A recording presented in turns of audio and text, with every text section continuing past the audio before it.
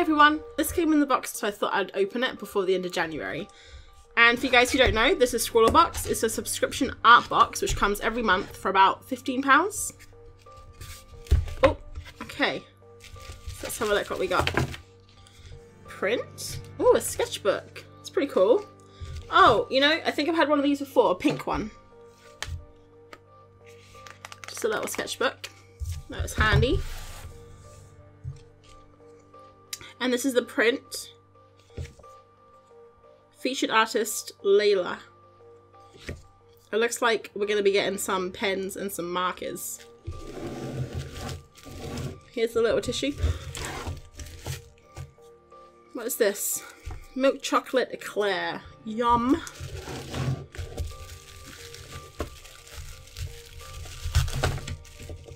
And the tissue paper. It's a list. I'll look at that in a sec. Scrawlrbox sticker. And yeah, looks like some markers. That's pretty cool. Ooh, I've wanted to try one of these. It's like a pencil with a weird rubber on the end. It looks like a brush. It's pretty cool. Half the pressure, twice the speed. That's what she said, am I right? Um, blue ink pen. wow, look at this fancy sharpener. That is so cool. Love it. And then two markers. Magic marker, twin tip, blush, and manganese blue. Manganese blue. It's pretty cool. So looks like they got a... Oh, my word. Okay. Looks like they got our chisel tip. And a bullet tip.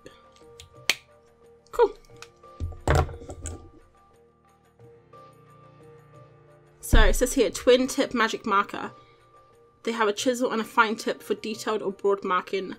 They contain xylene free inks, whatever that Palomino Blackwing 602 pencil, Bass Bullet sharpener, an Edding 1800 Profipen drawing pen, and a sketchbook by Silvine paper, which I'm pretty sure I've had before. Oh, and this month, Starlet is the Scrawlrbox challenge. Okay, let's test out this sharpener. It's pretty cool. That is one smooth sharpener. So, just gonna test out all the materials. Ooh, this pen is so long. It is half the pressure, twice the speed, which I'm not really sure what that means. I guess you don't have to press as hard. It's really nice and dark. I don't really use pencil much apart from sketching. Guess I could give it a go. Doesn't erase very well.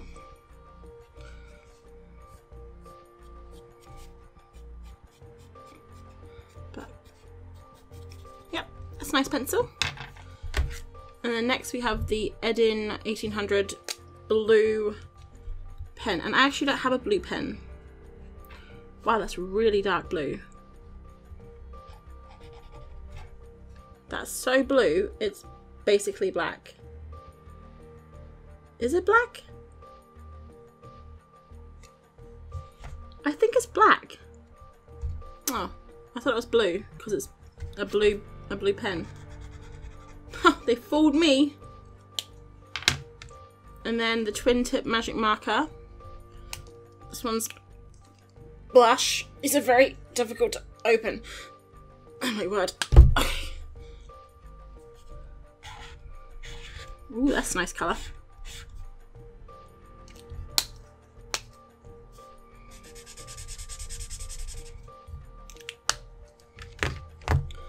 And the manganese blue.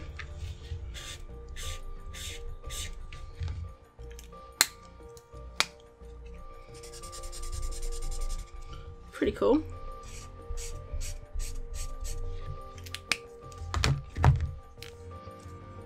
Oh is this is extremely difficult to open. I'm not even gonna lie. Jesus. So they don't really mix very well, but I don't know if I don't think they're for mixing. Okay. See if it goes through. A little bit. And I've got pencil on my fingers. And I forgot to test the pens and the markers together, so I did a really quick little test. The um, pink marker smeared a little bit, but I think that's because the pen hadn't dried. And you can see that they also go on a lot darker and they dry lighter, which I think is true of all markers. The uh, peach dries to a really nice pink, which I like.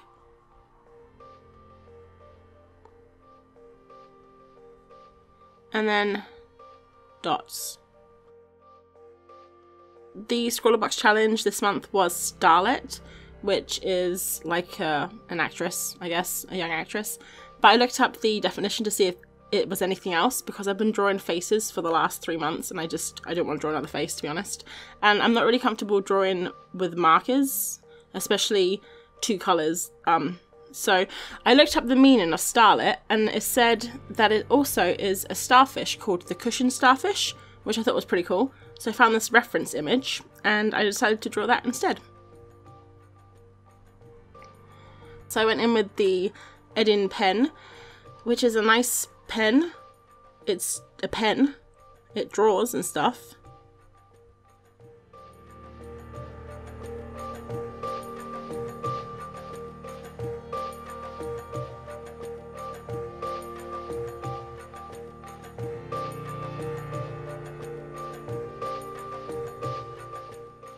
And I'm just thickening, thickening up the lines on the edges.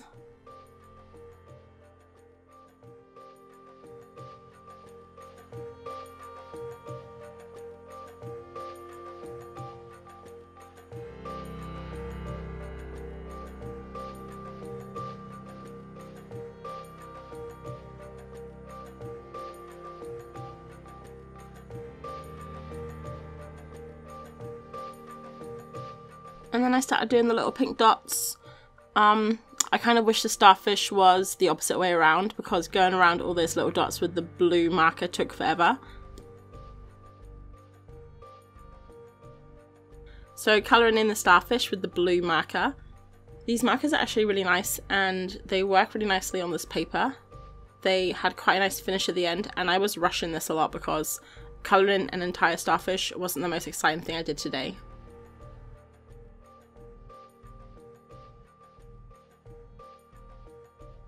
Just add in some shadow. And then I also go in afterwards and I do like a separate layer, which dries really nicely.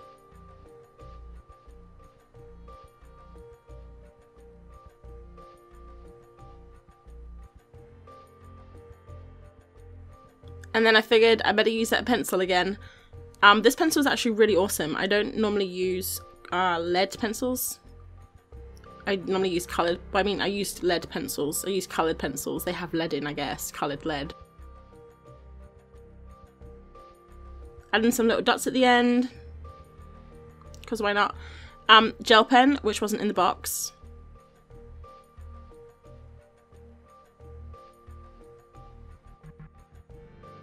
And then I went in with some little dots at the end because I didn't really follow the reference image very well.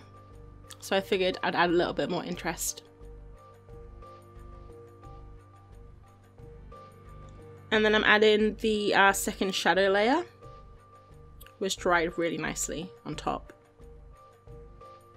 So I definitely think I'll use these markers again. I think the colour combo is really cool. And I'll definitely use that pencil. Oh, and the sharpener is going to replace my sharpener because it is awesome. I mean, it, it can really sharpen a pencil. So that was this month's Scrawlrbox. I hope you enjoyed watching this simple little starfish. And um, I'll check you out on the next box. Thanks for watching. Bye.